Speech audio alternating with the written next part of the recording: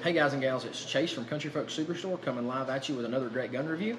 Today we're spotlighting the Ruger SP101, chambered in 9mm. That's model number 5783. Um, yes, you heard that right. It's a SP101 chambered in 9mm. This is a five shot gun.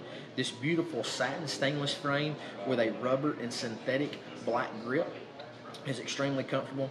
This gun is 7.2 inches long on its overall length, weighing 25 ounces unloaded with a 2.25 inch barrel, so extremely concealable.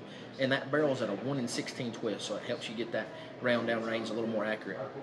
If you'll notice, it's a full lug frame. On the opposite side, that's to help get that um, cylinder bar in there and tucked away and keeps it nice and tight and clean for you.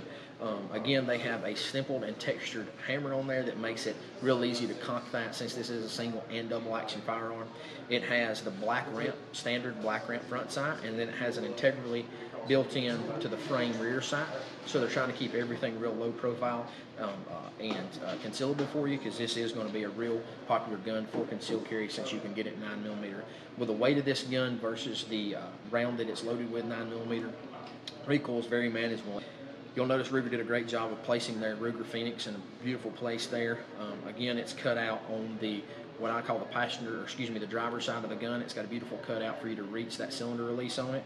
Again, it's the Ruger SP101 chambered in 9mm, model number 5783, satin stainless frame, beautiful gun. Uh, you'll want to check it out. You'll want to see it. We have them in stock. We have them online at eatshopshoot.com. Again, this is Chase with Country Folk Superstore. And don't let me forget, this is not a MAP price gun, so we'll be happy to share the price with you.